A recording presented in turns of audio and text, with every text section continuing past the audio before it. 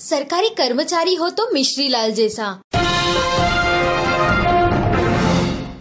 आमतौर पर सरकारी अफसर और कर्मचारियों के बारे में अच्छा कहने में लोग गुरेज करते हैं, लेकिन कुछ अफसर और कर्मचारी ऐसे होते हैं जो आम जनता के लिए दिलों पर छा जाते हैं। ऐसे ही कर्मचारी के बारे में आज हम आपको बताते हैं, जो औद्योगिक केंद्र विकास निगम इंदौर में 25 साल से कार्यरत है।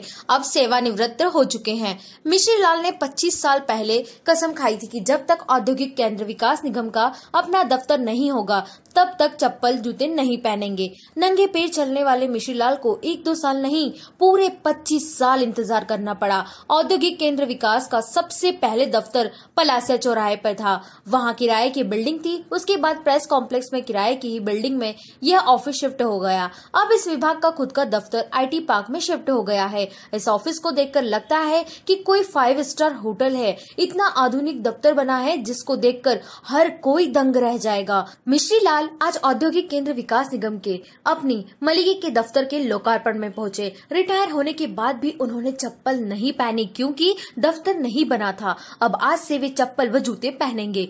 लोकसभा अध्यक्ष सुमित्रा महाजन और उच्च शिक्षा मंत्री जीतू पटवारी के साथ ही विभाग के महाप्रबंधक कुमार पुरुषोत्तम सिंह ने उनका सम्मान किया। तो समारोह परिसर में तालियों की गड़बड़ाहट सुनाई दी।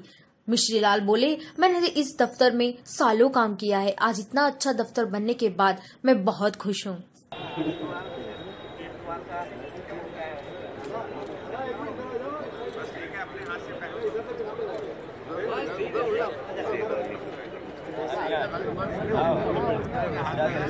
अब ये इधर वाले फोटोग्राफर कह रहे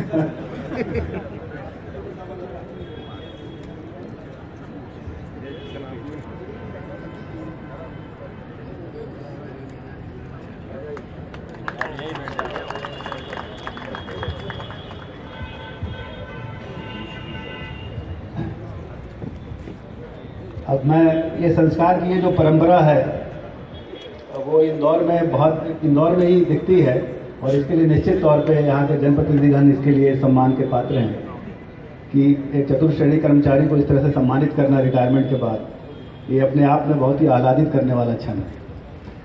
अब मैं कार्यक्रम के मुख्य अतिथि Subscribe our channel and press the bell icon for more updates.